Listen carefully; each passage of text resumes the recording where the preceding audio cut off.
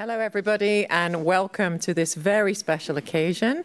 Uh, we're coming to the end of two fascinating days of the third Comics Conference, and we're here to celebrate a bumper crop of new books in comic studies, key terms in comic studies, seeing comics through art history, art history for comics, and graphic medicine. My name is Manon Parry. I'm professor of the history of medicine at the VU and also based at the University of Amsterdam. And the authors of all of these books are here tonight, along with copies of the books for you to browse. And there's flyers on the front if you want to take a closer look. And the strategy for introducing you to these new publications today will be that our speakers are going to introduce each other's books. So there'll be no self promotion, but friendly co promotion. And we'll have plenty of time at the end of the presentations for questions, uh, but also there'll be drinks afterwards to celebrate. So I hope you'll stick around and you can talk more with uh, the authors then and the editors. So, shall I begin with the first? Everyone's ready? So, our first book is Key Terms in Comic Studies, which was edited by Erin La Cour. If you raise your hand, thanks. Who's an assistant professor of English literature and visual culture at the Vrije Universiteit Amsterdam. Uh, Simon Grennan, co author, leading researcher at the University of Chester and a graphic novelist. And Rik Spanjers, lecturer at the Media and Culture Department of the University of Amsterdam. And the book will be introduced by Ian Horton. Raise your hand. Who is, it's like school, sorry, who's a reader in graphic communication.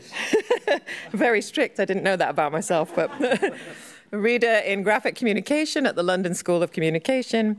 And Maggie Gray, who is senior lecturer in critical and historical studies at Kingston University. Thank you.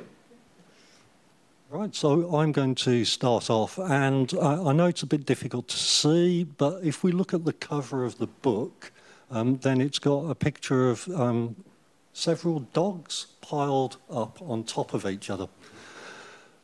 Some people say that you can't judge a book by its cover.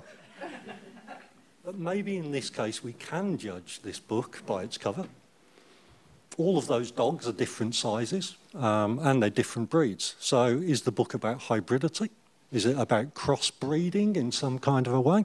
Or is it about definitions, both small and large definitions of key terms in comics? Or is it just piling up definition after definition with no real aim or plot? Thankfully, the person who designed the cover is with us. And maybe in the Q&A, Simon will tell us what it's all about. I've really only got one complaint about this book. I wish the book had been published much, much earlier. Because at the time, I was working on the two other books that are going to be introduced in a minute. And unfortunately, when this book came out, I had to go back through and use the definitions that they'd provided to rewrite sections of my own book. So if only you could have been a year or two earlier, but I guess you had quite a lot to organise and sort out. Um, some of those terms were interesting because I didn't expect them. So one of those terms that they used was the term of iconography, which is quite a rare term in comic studies. And I was thinking, well, that's unusual. Um, so why is this here? I probably disagreed a little bit with the way the interpretation was done, but at least it gave me a basis to work on and also an idea that iconography was actually of value and being interesting at this point in time. Um, some of the other terms that I was interested in were um, semiotics and its relationship to style. Uh, and we'll talk a little bit more about the way that the different terms link to each other later on in the talk. Uh, and then the final thing I wanted to say is I wish it had happened a lot earlier because I did use their definitions of different um, schools of Franco-Belgian comics. Um, I spent hours, days even, trawling through lots and lots of different books to build these definitions. And there they were in this book, simply and directly presented with all of the references that I'd found with all my own hard work. So thank you, Simon and Eric and Rik. It was a bit late. Yeah, I think just to echo that, when we, um, I found it really, really helpful for sort of checking in um, with some of the terms that I'd been using, some of which are quite kind of comic studies specific, um, like applied comics, but others kind of crossed over and are used in both comic studies and in art history, um, like the avant-garde. So that was very helpful um, in terms of just kind of checking my thinking. Um, and I think the one that I really found the most um, useful in that sense actually was Erin's um, on abstraction. Um, particularly because it kind of didn't just sort of summarize the shape of um, thinking on that term um, that had happened in comic studies in the past, but also sort of mapped the trajectory um, and the direction that comic studies was going in in terms of thinking about that area. So yeah, having been kind of immersed in quite a lot of the quite complicated literature on abstraction in comic studies um, that comes from many different kind of disciplinary perspectives. Um, it was just really super helpful to kind of have that um, very, very succinct um, but kind of comprehensive um, definition of that term to kind of check my own kind of thinking and what I was um, trying to say in a lot more words. And as someone who, and Ian knows this, regularly just blows holes in word counts, I think that was one of the most impressive things about this book is how um, the contributors managed to um, give these kind of very insightful, comprehensive um, entries on these terms in just you know around 250 words, which is like super so impressive, uh, particularly to me. Um, so yeah, I think the, the book is really impressive from a kind of writer's point of view in terms of how the contributors um, took these these big kind of terms, did that kind of research, that gathering process, and then that sort of distilling um, and condensing process. But I think also from an editorial um, point of view, it's incredibly impressive the amount of wrangling that I imagine was involved.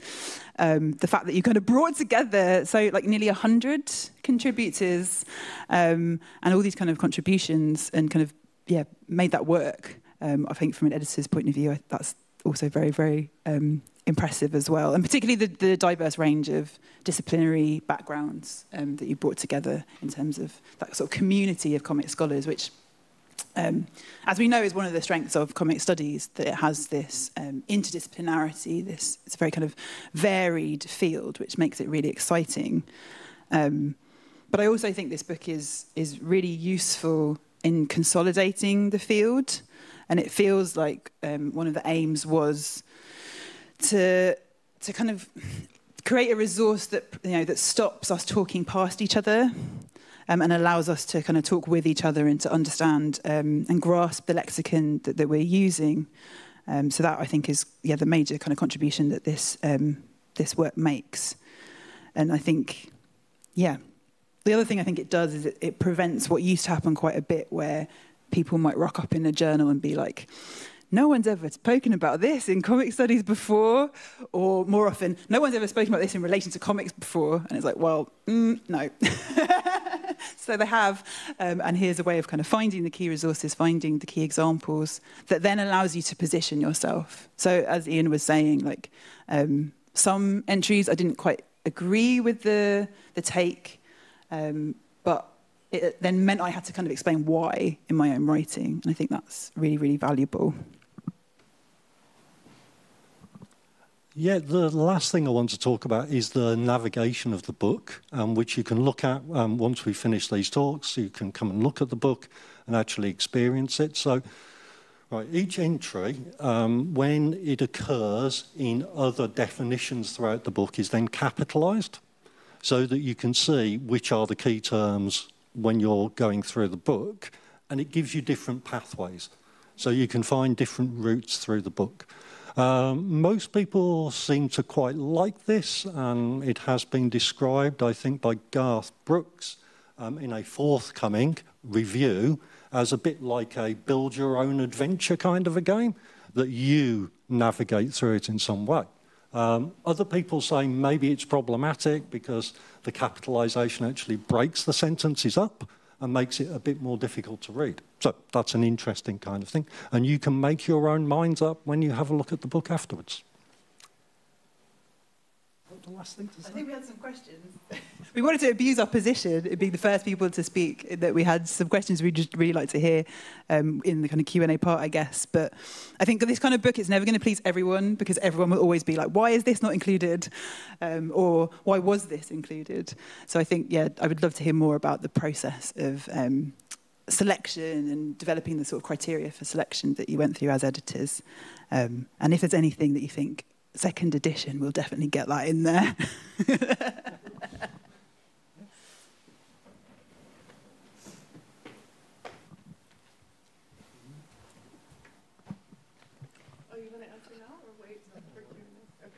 Yeah, maybe we'll leave it for later, but uh, I have to say, I always like a good feisty debate about uh, an academic text, so it sounds like there's lots to talk about and also a really useful book to begin with this evening because it's clearly a great introduction for people who are coming to the field new, but also an opportunity to get everybody on the same page, so to speak, who is talking together. Thank you. All right, our second and third books are Art History for Comics, Past, Present and Potential Futures, written by Ian Horton and Maggie Gray, and Seeing Comics Through Art History, Alternative Approaches to the Form, edited by Ian Horton and Maggie Gray as well. And they are going to be introduced by Rik Spanjers. Hello, everybody. Um, I'm going to jump right in, if that's okay. Art history has always been the most neglectful parent of comic studies. Literally, uh, literary, uh, cultural memory, and media studies, while also away quite often, are at least present on holidays, um, if only to shower comic studies with some gifts. These gifts can never substitute actual present parenting, but they are gifts nonetheless. And it's always better as child, children, you know, it's better to get gifts than not to get gifts. Um, but such gifts can never really substitute actual uh, uh, parenting. Um, so, right, something more might be no, uh, needed. From these brief moments of attention, from these gifts, comic scholars have built enclaves in academic departments around the globe. Art history, however, never came out of its Eames lounge chair, including Hawker, of course um, and never once looked out from the beautiful yet somewhat uh, vacuous, vacuous coffee book that it always seems to be browsing. Um, being the neglected child, my relationship to art history is characterized by a sort of acting out. Uh, on some days, I seek its attentions by attempting to write and think according to its rules, uh, a little too slavishly. And on other days, I just want to watch it and its ivory tower and an Eames chair um, including Hawker again, burn. Maybe I was vaguely aware that I was being childish before, but after having read Maggie Gray and Ian Haig's Art History for Comics, I became sure of it. Uh, oh, sorry, Ian Horton, I'm sorry. I'm always afraid that that happens. Instead of acting out against the neglect of art history for comic studies, um, Gray and Horton have chosen to selflessly build an established connection between art history and comic studies that spans, as the subtitle boasts, past, present, and possible futures. If we build it, they seem to have thought, he, and in my mind, art history is still a he, he will come. In doing so, the authors do not only frame, as I did, the relationship between art history and comic studies as a form of neglect, but as a chance for comic studies to broaden and strengthen its theoretical horizons. Reframed as such, the field of art history becomes a treasure trove of a bookcase from which the children still present in the house can rate the most promising and exciting approaches for their use. The adventure that follows, and in that uh, uh, uh, adventure, Gray and Horton make good on their promise as they go through the absentee father's bookcase to find moments when comic studies brushes up against art history, um, they show readers that there's a veritable wealth of connections already established, which was, I think, the most surprising to me. And there's much, much more to learn from further cross pollination. The book's scope, to be honest, is quite staggering. I think you've been doing a little bit too much it does something that is becoming somewhat old fashioned. That is, there are actually three books in here a re evaluation of the discipline's history, a theoretical handbook for contemporary co comic studies, and a manifesto for a better future. Any sane academic would publish these books separately, thereby banking not on one but three publications. Um, Ian and Maggie, however, have chosen to put them together into one incredibly wealthy volume. To put it in Dutch terms, you're not only getting a discount voucher, but there's also a three for one deal going on here. a little more seriously now, um, in Downcast Eyes, the denigration of vision in 20th century French thought, the famous, famous intellectual historian Martin Jay chronicles the iconophobia of much 20th century academic thought. It is this fear of the image that has made comics stand out as an anomaly in this paradigm, um, prompting literary and cultural studies scholars to challenge existing preconceptions concerning to textuality and materiality through reading comics. With art history for comic studies, we now have a book that instead of approaching comics as an anomaly, but within the paradigm uh, that is always somewhat fearful of it, um, instead of that, it takes a disciplinary background that comics um, are much more welcome to in a certain way and really approaches them from their visuality. Art history for comic studies then does really deliver on, the promise, on its promise to balance out the theoretical underpinnings of comic studies and hopefully will allow scholars from around the globe to see comics instead of really reading them. More importantly, even, by once and for all re establishing the manifold connections between art history and comic studies, Ian Horton and Mary Gray, uh, Maggie Gray force art history, Jesus, force art history to start paying attention not by acting out, but by leading the way. And if that doesn't get the old man out of his Eames lounge chair, I suggest we rob him blind and leave him to rot. But just when you thought they'd done it all, um, I mean, at least for a year, uh, they worked very hard. Ian and Maggie teamed up again to compile and edit Seeing Comics Through Art History, the second book that they're presenting here today which, in addition to their opening chapter, includes 18 more perspectives on art history and comics. From researchers who are also educators, artists, designers, curators, producers, libra- librarians, editors, writers, and many more combinations of these. With topics ranging from old school art history to perception, reception, and meaning to new and newer art histories and possible future adjacents. Seeing comics through art history explores, through a range of methodologies, the diversity of approaches within art history for the study, for the study of comics. It was really cool of you to do both. Thank you for that. So it's definitely a book that's going to be really helpful for me, and I really look forward also to question you on some of the choices that you've made.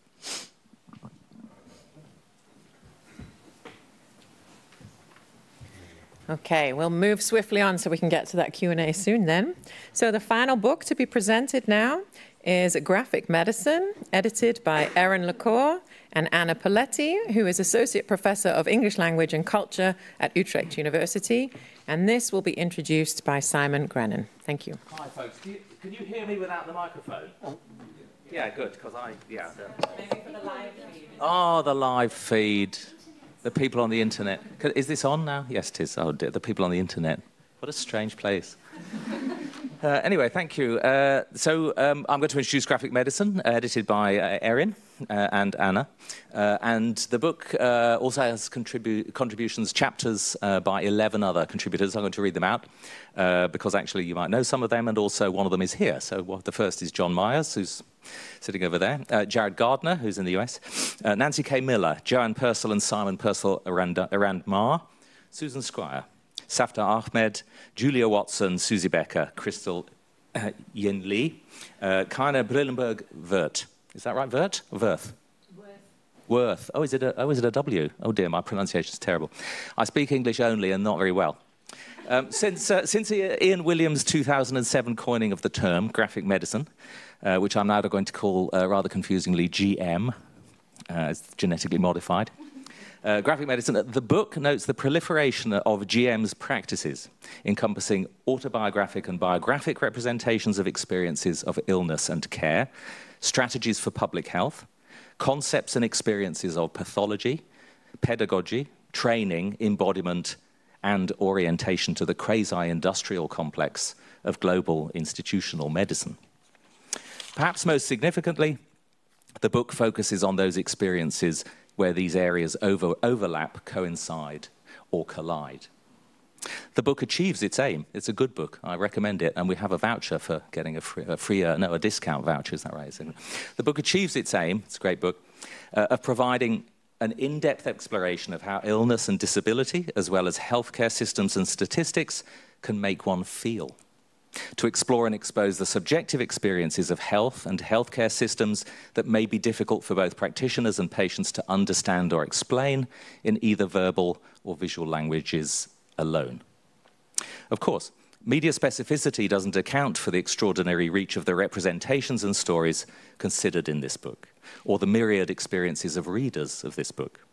Rather, the book charts the influence of GM practices uh, the on GM practices of life writing, drawing, and publishing, raising the concomitant spectres of subject, identity, and agency, healthy and unhealthy power, and profound body transformations. We learn about isolation, marginalization, and self awareness from Brillenberg Worth. Worth? Worth? Excellent. Themes that are, uh, you don't, uh, seeing as I don't read by, I don't, while I'm reading, I don't pronounce the words, hence I've not pronounced Worth before. Uh, Brillenberg Worth, uh, themes that are opened in the editor's introduction and in chapters by Gardner and Miller. Vulnerability, thematizes the very different commentaries, methods, and experiences of Ahmed and Myers, whereas concepts of other, other and othered abilities and disabilities bring together the chapters by La Cour, uh, Squier Purcell, and Purcell Rand Marr. Although processes and ideas of healing are a constant threnody throughout the book, uh, Yin Lee's chapter places memory and personal trauma at the center of stories of political violence. Finally, Becker and Watson consider scrutiny, self scrutiny, and dissent in Watson's chapter, Revenge, as activities stealing back agency and creating identity or recreating identity contra unhealthiness, often through narrative drawing itself. So I heartily recommend the book. It's, uh, it's incredibly rich and broad in its scope, and I think I might have mentioned the discount code already.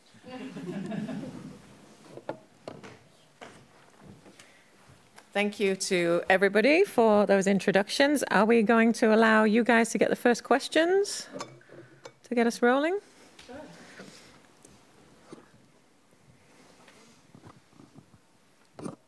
We already asked Do you want to give us a reminder? So, yeah, I mean, we just wanted to know about the process of, um, from the editor's point of view, I guess, of like kind of crafting something that's this complex. Um, and particularly, yeah, was there anything that, um, I don't know, yeah, what was the process of like deciding the selection criteria for entries? Um, and is there anything that you think now, oh, we should have put that in? Uh, I hesitate to talk about our process uh, because I, I, haven't talked about this with Rik and Simon yet, so we don't have a you know a cohesive story. Basically, we started by looking at a lot of different uh, compendiums of critical theory, of literary theory, media studies, and we started making lists from that. So we had, I mean, probably thousands of terms. And then we kind of went through and said, this isn't really relevant, or this is absolutely not relevant, these are too close. That was kind of the start. And then, of course, we started finding holes like, oh, there's not line or color or you know some of the things that are absolutely necessary for comic studies. Uh, and then we had a few issues, as I think you know, where we had overlaps, where we asked multiple people to write the definition of one term, and then sometimes chose one, sometimes changed the term. so it was a it was a very much a kind of in process uh, process. I'm very curious too about this this idea that some of the terms were contested. Can you give us some insights into which ones they are?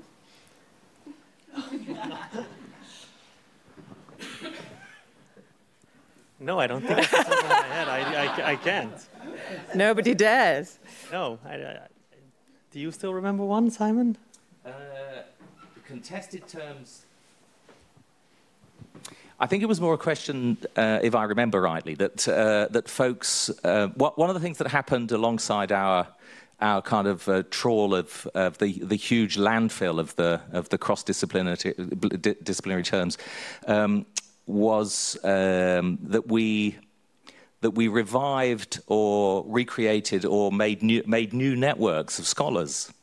I mean, there are 100 contributors to the book, including us. So that's 97 folks who we were in constant communication with. And what that meant was that we were mapping one of the things that the book does almost incidentally, but as a byproduct, an important one, is that it marks a moment in time uh, where it describes a community of scholars and the community of scholars are from loads of different disciplines and absolutely global and bring all sorts of different types of, of perspectives. And so, really, um, the, cont- the contentions arose where folks suggested things that we should do that we hadn't thought of. And so, so, so, we'd say, oh, such and such a term, yeah, this is on the list. Um, and we, we were very nuts and bolts about, very practical about how we managed uh, the list in terms of the scholars, the contributing scholars. And so we, we divided them up uh, into thirds. So, you know, I had 30 and Erin had 30 and Rik had 30. And so this, this started to, to reveal while we were communicating with the contributors that we were missing things or that ways in which we might have thought about a particular term. Actually, they, somebody would say, oh, you think that you're talking about this, but you're not. You're talking about that. And so we'd go, oh, uh, excellent, okay. And so we had folks adding to our list. Uh, contributors would say, oh, yeah, no, this is great, but have you got this? Have you got that? Uh, and so that, and so the, the R list grew as well as changed. In fact, it grew more than it changed. I think, I think so. over over time. And so we ended up with a um, we ended up with a list where the where where although we we are the, the, the cover editors of the book, there was co-editorial uh, with quite a large number of the contributors. Um, but I mean, in answer to the question, slightly different answer to Erin's is that is that we've um, revealing that you've not read the book as closely as you might. Mm-hmm. Um, the is that the, the, the, the rule by which we made a selection, there was a rule um, which doesn't describe the process that we went through, but it acted as a key benchmark for the three of us, and it's, it's in the book, so I'm going to read it to you. It's very short. I like a nice short rule, like uh, E equals mc squared. Uh, so our E equals mc squared reads, um, focused on Anglophone comic studies, so this is a book that is in the English language. This book compiles terms and critical concepts in current use, including those from other languages that have been adopted by and are currently applied in English. And so actually this is a this is a pretty useful this was a pretty useful benchmark and we spent months deciding what this benchmark should be. Uh, and so that and so that's it. So the so the measure of current use is indexed by the number of global contributors in English, even though their first languages may not be English, and as comic scholars, they may be using other languages and coming from other disciplines and, other places. And so that was, that was, the, that was the mark that we set ourselves. Uh, and that doesn't describe fully, in it, it really doesn't describe fully the, the, editorial process. But that's the rock on which we, I think, we, st we still found this is what this is about. It's about current use in comic scholarship, whatever that is, in comic studies rather, in English. That's the, yeah. Rik, do you want to? I just wanted to ask a question then about the navigation. So, did you consider other options besides using the capitalization of the terms, which breaks up potentially for some readers the sentences? So, did you consider any other way of doing that typographically? I mean, uh, yeah, I think the sort of making the book as uh, uh, open as possible is, of course, one of the most important things of thinking of a key terms book such as this, um, uh, because it's not a book, of course, that you read from beginning to end, but you're really called to it in a sense. But we also wanted it to be, or to allow a sort of browsing experience. Um, and so the capitalization was the way in which we um, devised of doing that. Um, and the fact that it is strong or maybe off-putting uh, in a sense. I think it's also part of what its purpose was in uh, the way in which the book works, so that it's um, because the entries are short anyway. I think we felt that we could trust people's uh, attention span to, you know, go across 200 words uh, a, a, little bit, and um, the sort of distraction of the capitalized terms was also uh, you know, supposed to be, you know, we're we, I think we've been very uh, platformy about it. So one of the goals was also to keep people reading and to sort of be distracted about a new term and think like, oh, wait, I've never seen a definition of that, or uh, you know, how is that a definition in this book? And then sort of travel from one to the other side of the book and sort of not putting it down, but sort of spending more time in, in, in it than they initially sort of thought they would spend in it. So I think that's why, why we sort of went with that uh, choice of a more distracting typographical intervention. And that definitely happens. Like I think you, you might go to it for a particular term, and then suddenly you go down this rabbit hole, and you're like, oh, and this one, and this one. And the mapping is really interesting because there's some connections that you would expect. If we're thinking about kind of ecologies of, of comic studies, there's some things you expect, but then there's some connections that are um, unexpected. And that's yeah, really interesting for the reader to be like, oh, yeah, what is the relationship between that term and that term, which don't necessarily fit or wouldn't assume fit together or cross over. Um, yeah. Yeah, just kind of on that point, I was reading the term caricature, and I had no idea that you were going to really focus on the print technology side of that, because that wasn't my natural kind of instinct to think, oh, this will be about print. But that's the way that person defined it, so that's fine. And then that took me into all of the different print areas, which was interesting. So I, I ended up reading about a load of stuff that actually was completely irrelevant to what I was doing. and distracted me and stopped me from writing the books. But hey, it was still very interesting and valuable to see it through a new lens and one that would never have occurred to me. Can I ask one more question about? I should say about this oh. that, that this method is not an original method. We nicked it from somewhere else. And so it, uh, it, it, was, it's the method used in Prince's Dictionary of Narratology, which I think was published in 1989 or 1990 uh, of which I'm a big fan. Now, I'm going to be strict chair again and say, is the question about one of the other books? Otherwise, you won't be allowed to ask it. I have a question. okay. So I wanted to ask uh, a question about the art history books, because as we all can see, there are two now. Um, but uh, they're very close together in content. So I wonder if you could say a little bit more about the um, genealogy of these two books and how they came into being. And also, both of them have a really interesting and beautiful cover image. Um, so I think, you know, as you get the chance later on, please check out these two cover images. But if there was a chance that it would have been one book, which cover image would you uh, ended up with?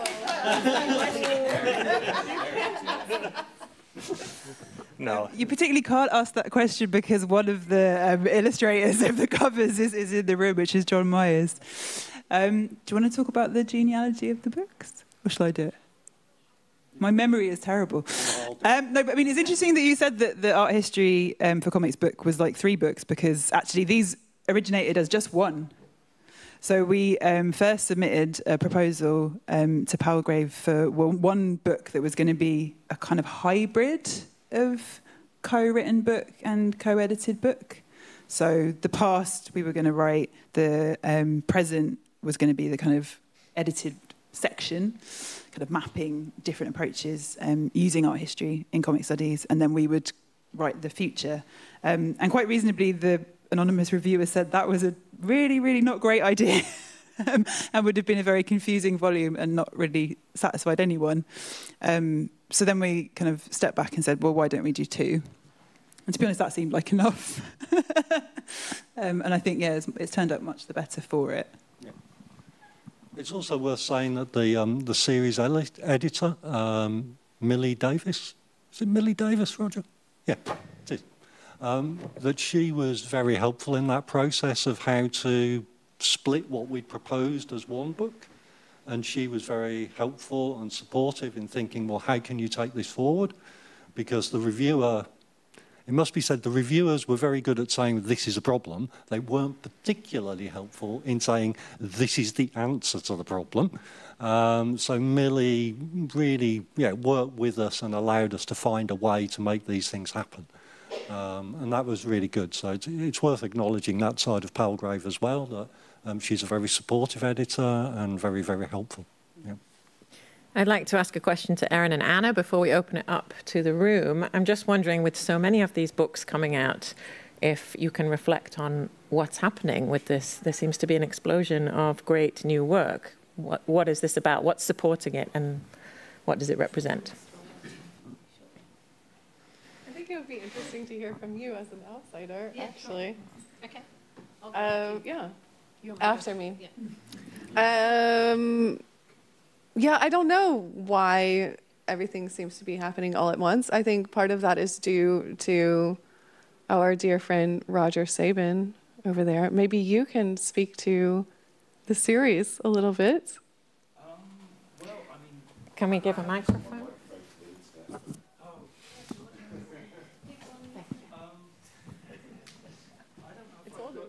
I, I, don't know if I've got much to say. There's a couple of books on the table that I haven't seen, so congratulations, everybody. Fantastic uh, work. Um, I'm the series editor for Palgrave, the Palgrave Studies in Comics. So three of the books are from that list. So I, I you know, was part of um, soliciting the, the talent, as they say in Hollywood. Mm-hmm. Um, and uh, they're all they're all terrific. I'm so proud of all of them. And uh, uh, the life of an academic is so difficult these days. You know, everyone's caught up with teaching and administration and all that sort of thing. For anyone to write a book at all is almost miraculous. So, and this for books of this quality, they are they are wonderful. Um, I would say that the publisher the only, well, one, one of the publishing stories is that the, the key terms book, which is an alphabetical sort of listing of terms, and the publisher wanted to put an index in the, in the back. So I had to, I, I had to fight them, you know, an, index to an index. It's just absurd. So uh, that was one of my jobs on this, but, uh, but they, they are terrific, and uh, yeah, I don't have anything to say. Thank you. Anna, do you want to add? Yeah, so as the non uh, comics scholar in the room, um, what I would say, and I agree with Erin, that, that the work of someone like Roger began the process of bringing comics as an art form into, into the academic sphere. Um, and I think what we're seeing now is second and third generation of, of scholarship. But what's most interesting to me um, about comic scholarship is that it is a place where practitioners and scholars come together in a way that's really unprecedented in the humanities. And I think that comics scholarship more broadly is a real lesson. I mean, comics artists and comics scholars get along way better than writers and literary scholars do. Mm. I mean, you would very rarely see, um, you know, fantastically talented, creative people uh, who write novels sitting in a room with, with literary scholars. Um, it, there is not a history of productive conversations about what literature is. Um, between those who research it and those who produce it. And comic studies really is, I think, um, at the forefront of that in terms of the humanities globally uh, in terms of demonstrating not just the benefit of things that we technically call like practice based research or creative based research, but actually how our understanding of culture can be enhanced when the people that have their hands on the pens uh, are in the room and shaping the way the people who are teaching and thinking critically um, about the art form when, when those conversations really begin together. And for me, that's, that's what comic studies really shows the rest of the, the humanities is possible ways forward. I hate that term, um, mm-hmm. but in this case, I think it's appropriate. And I would just point. say, from my tiny corner of the humanities, which is life writing studies, um, that comics has really challenged a lot. As a form, comics has really challenged a lot of what we think storytelling is and what it does.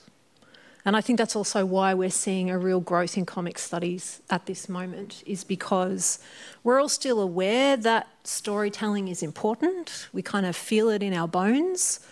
Um, but the forms that people are using to tell stories are changing. And again, I think comic studies is really at the forefront of helping us think about multimedia practices, text image, but also the difference between comics on the screen and comics in a book.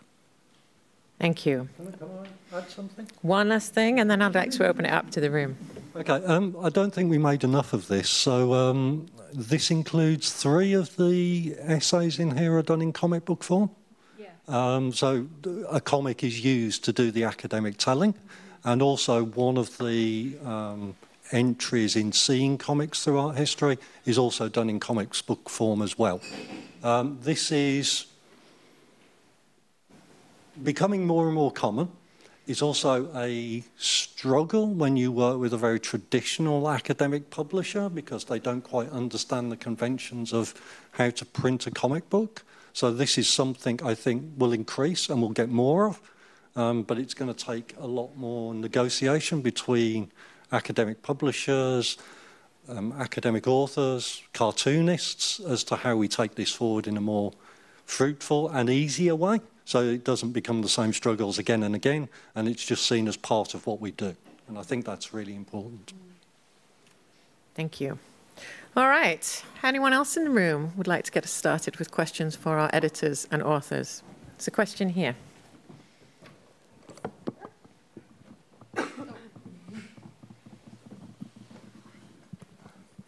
Um, I have uh, two questions uh, uh, about the, the, book, the key terms for Erin and Simon.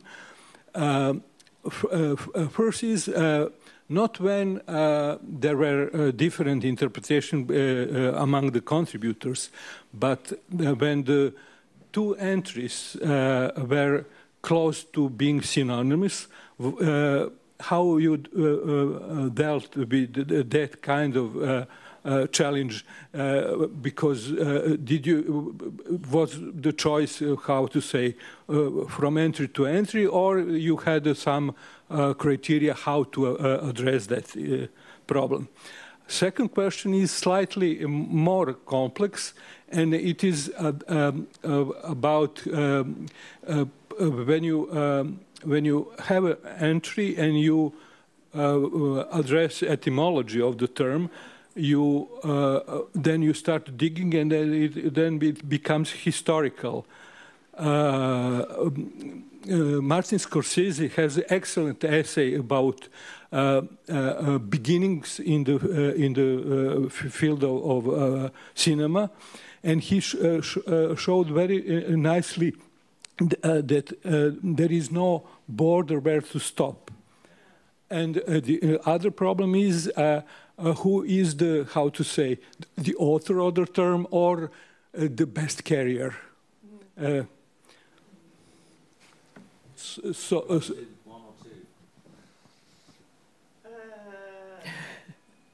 maybe two.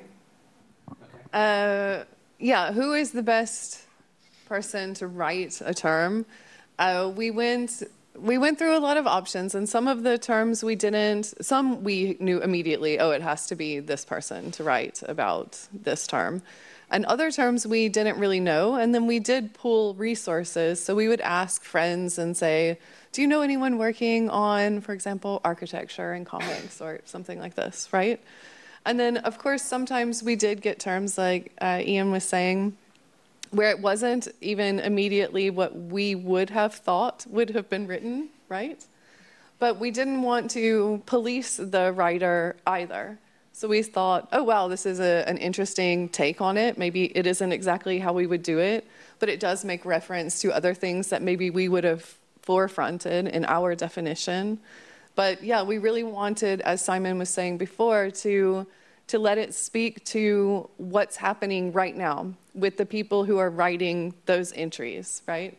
So the contestation was always something we knew was going to happen and couldn't stop anyway if we tried, right?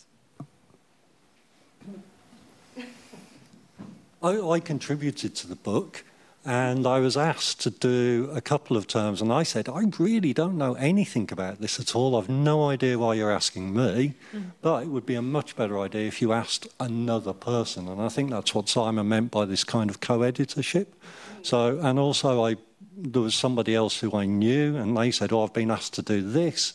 I don't think I'm very good at it. Do you want to do that? So we actually were in communication and we were exchanging and thinking who is the best person. So in some ways, it was more like the collective was starting to make some of those decisions, I think, about what was the best way to proceed with some of the terminology. Yeah, and I, I, think for the first question, uh, our rule, which uh, was just uh, uh, read aloud again, um, kind of dictated that we were going by current use. So the point of view of the book is really how specific critical terms are being used now and what their meaning right now in comic studies discourse is.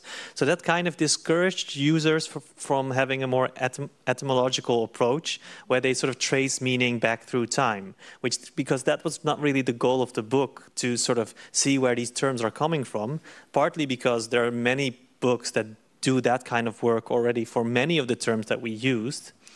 Um, and partly because when you want to pick up a book like this, it needs to be somewhat current and help us understand the present moment of, of scholarship and not so much the past, which maybe is um, better reserved for way, way, way longer entries. Yeah, that's also the thing. The word counts kept it short.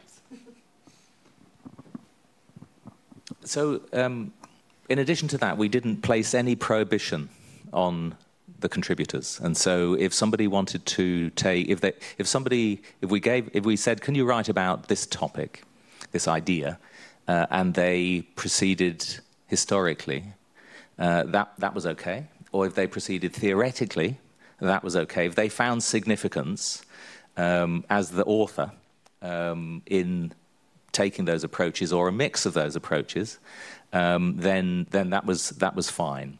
And so there were occasions where, as editors, we were um, we were asking questions about the drafts that came to us. So a contributor may take a, a wholly historic approach to uh, to a term, and we'd think, ah, okay, um, but as as readers, users as well as editors, we'd think. But can you can you have could you have this in the book if it doesn't include such and such and such and such, which may which may lie slightly outside or even very outside the say historic approach taken by a contributor, then we'd have those conversations with them, and those conversations were not fraught; they were expansive. Um, and the one of the things that, that the, the form of the book does really or did in terms of the editorial process is that the length of the entries was a um, was a determining factor. Folks had to be very, they had to really think um, what are the most important things to say in describing what this term means, um, and they and therefore they were self-editing in a way that was really quite ruthless, 200 words plus. Yeah, and and therefore those conversations, the task of editor of editorial was uh, was taken on by all of the contributors uh, backwards and forwards. First, first in, in, terms of us putting together a list of terms, them contributing that list, then them having to editorialize their own experience as experts to write something that's only 200 words and that contains everything you need to know, uh, and then ha them handing that to us and have, us having those conversations. Yeah, does that answer your questions? Yeah. Any other questions or comments from the room?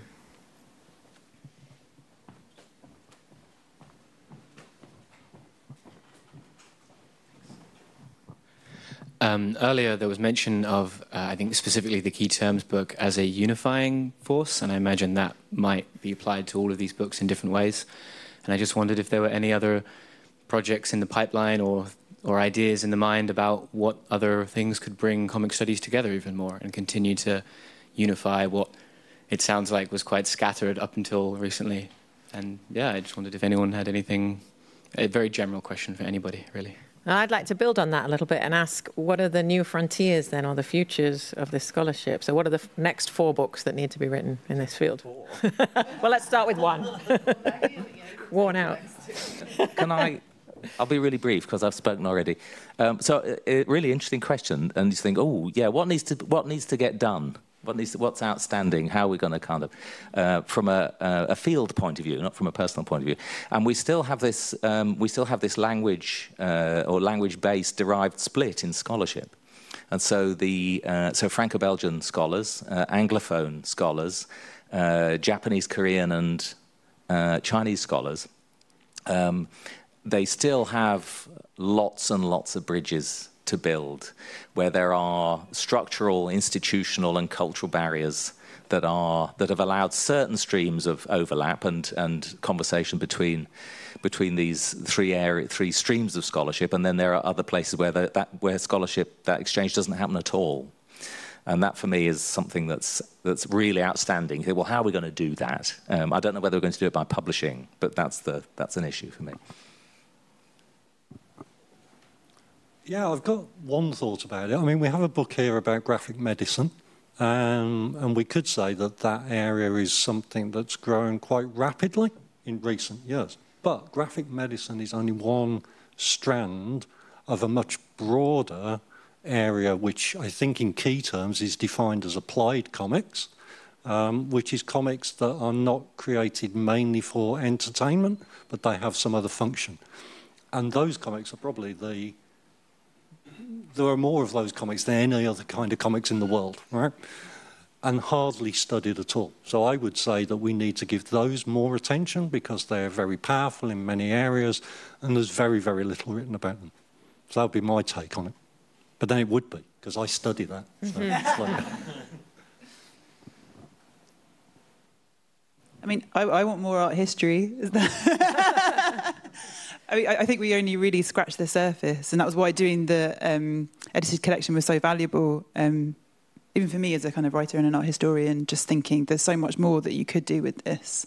Um, so it's interesting that um, to hear the kind of personification of art history as the kind of old man in the chair, because def- definitely is. But I also think you can kind of make a, a chosen family from different bits of art history um, that might be more interesting, or, or take different sort of characters. Um, so yeah, I think there's we, we were really only looking at kind of like Western art history. Um, so that completely can you know, bring a much wider range of traditions.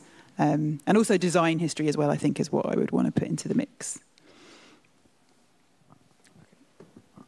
Yeah, on that, I think it would be, I do think it would be interesting to have more art history, but also uh, more about tactile comics, more about comics that can be approached by people with various impairments, right? Uh, also more about comics exhibitions. You know, there are so many things I think that are, are rich in that area. And again, like you say, also crossing, and you too, crossing the, the borders of Western art history versus other forms. It's not my field. more life writing, more life writing, comics. Yeah. Okay. yeah. No comment, right? No. Another question from the floor. So Ben Wu on Twitter would like to know what's with the dogs. Just repeating for the live stream. Am I meant to speak for myself? oh dear. Um, ben, I'll answer your question if I can. Um, but so uh, famously, somebody once asked Fats Waller what jazz was, and he replied, uh, "If you don't know, lady, I can't tell you." However, as a scholar, I don't think that's a really satisfactory uh, answer to give. So Ben and others. Um, so the dog pyramid, uh, the dog pyramid is. Um, there's two, there are two or three things going on, and uh, although I drew the image, the image belongs to us three as editors. It wasn't me going, I want a dog pyramid on the front of the book, and Erin and Rik going, oh, all right. So that didn't happen. Uh, so, so it's a, it was a it's a risky uh, and radical image uh, in lots of ways. Uh, dictionaries do not have interesting covers. Uh, it doesn't matter what kind of dictionary they are; they usually don't have. Publishing doesn't rise to the challenge of having a great cover on a dictionary, mm. right? So that's the first thing. And so we wanted to have a cover where where where Ben Wu would ask, "What's with the dogs?" that the book would become the book with the dogs on. Uh, and that's that's a win already. So that's so we've done that's tick. That's good. Yeah, we like that. And so then in terms of the particular image, um, it's a taxonomy image. It's an image of of a taxonomy. Uh, different different things from different places uh, are related uh, and unrelated in particular ways in a precarious and mutable way. It's a dog pyramid.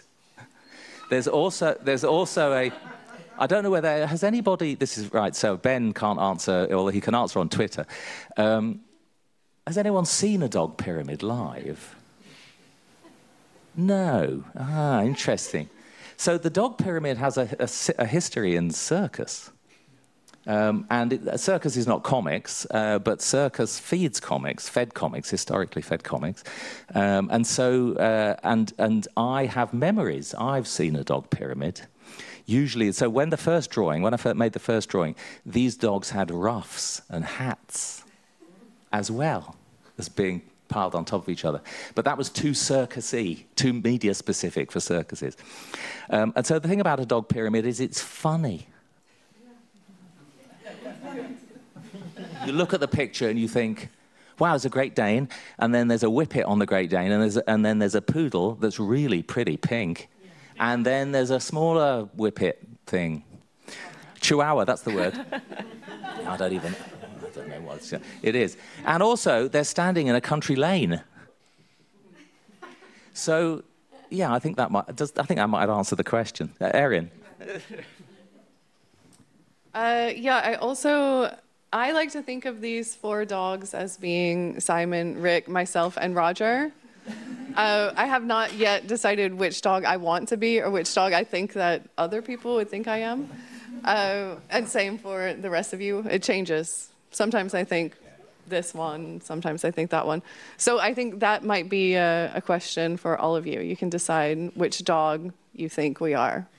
And there are lots of reasons why, right? Like it's not just is it a pink poodle? But why is that poodle facing away? Why is he so happy and carefree?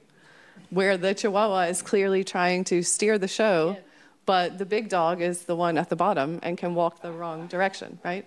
So, who are these people? Who are these dogs? what other dictionary gives you the identify the editors with the dogs game? You have to say that might be one of the best sales pitches we've ever seen for. I was just thinking, what you really need is a book about art history and comics, so you can deconstruct the iconography yeah. of the image, can't you? Yeah. You, you mean this is our Abbey Road? Wow. Does that mean there's a premonition of, you know, there's a death, a marriage, a.